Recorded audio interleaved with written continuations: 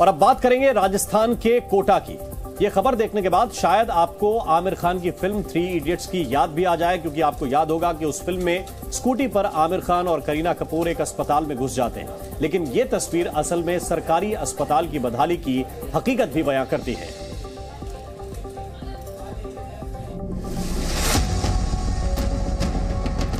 अस्पताल में मरीजों के लिए स्ट्रेचर या व्हीलचेयर का इस्तेमाल किया जाता है। लेकिन क्या हो जब अस्पताल में मरीज़ को दोनों ही ना मिले? ठीक ऐसा ही वाक्य राजस्थान के कोटा में देखने को मिला, जहाँ एक पिता को अपने बेटे के इलाज के लिए स्कूटी से जाना पड़ा। दरअसल एक वकील अपने 15 साल के बेटे को इलाज के लिए सरकारी अस्पताल लेकर पहुँचे थे, क्योंकि बेटे के पैर में फ्रैक्चर था और उसे पहली मंजिल पर बने वार्ड में दिखाना था। ऐसे में जब वकील ने व्हीलचेयर मांगी तो काफ़ी तलाश के बाद भी व्हीलचेयर नहीं मिली।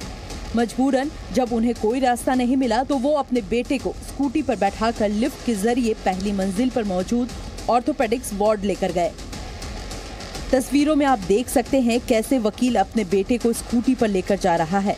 और पूरा अस्पताल ये होते हुए देखता तो है, लेकिन कुछ करता नहीं।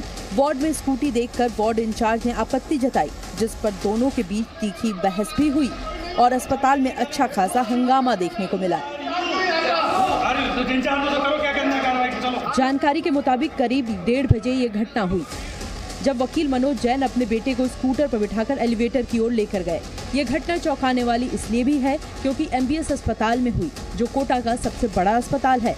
वहीं वकील मनोज जैन ने बताया कि अस्पताल पहुँचने पर बताया गया कि व्हीलचेयर है ही नहीं, जिसके बाद उन्होंने स्टाफ से वार्ड में स्कूटी ले जाने की इजाज़त मांगी।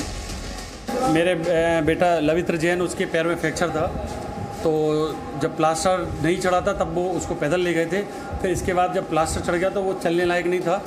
मैंने सब जगह ऊपर से लेकर नीचे तक व्हील चेयर के बारे में पूछा। फिर नीचे आके मैंने व्हील चेयर के बारे में सुखलाल जी और मुकेश जो स्ट्रेचर ले जाते हैं, उनसे पूछा। दस मिनट हमने इंतज़ार किया। इसके बाद सुखलाल जी ने बोला कि अभी बिल्डिंग नहीं बनी है, सामान नहीं आया, व्हील चेयर उपलब्ध नहीं है। तब मैंने उनसे रिक्वेस्ट की कि मेरे पास इलेक्ट्रॉनिक व्हीकल है, जिसकी, जिससे आवाज़ नहीं आती, कोई ज़्यादा न्यूज़ नहीं होगा, मैं बेटे को वहाँ से लेके आ सकता हूँ। हंगामा इतना बढ़ गया कि पुलिस को आकर मामला शांत करवाना पड़ा। पुलिस ने बताया कि दोनों पक्षों ने कोई शिकायत नहीं दायर करने का फैसला किया और फिर बातचीत के ज़रिए मामला सुलझाया गया। वहीं इस घटना पर अस्पताल प्रशासन ने स्वीकार किया कि वार्ड में व्हीलचेयर की कमी है।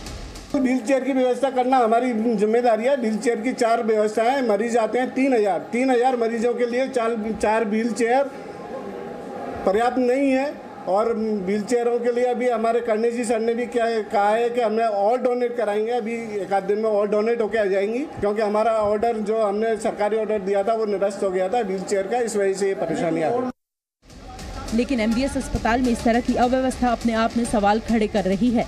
सरकारी अस्पताल में रोज़ाना जहाँ बड़ी संख्या में लोग इलाज कराने जाते हैं, वहाँ व्हीलचेयर और स्ट्रेचर न मिले, ये अस्पताल प्रशासन पर कई सवाल खड़े कर रहा है। ये तस्वीरें करोड़ों रुपए लगाकर बने अस्पताल के विकास के बड़े बड़े दावों की पोल खोलती है। Bureau report, Zee media. Zee news.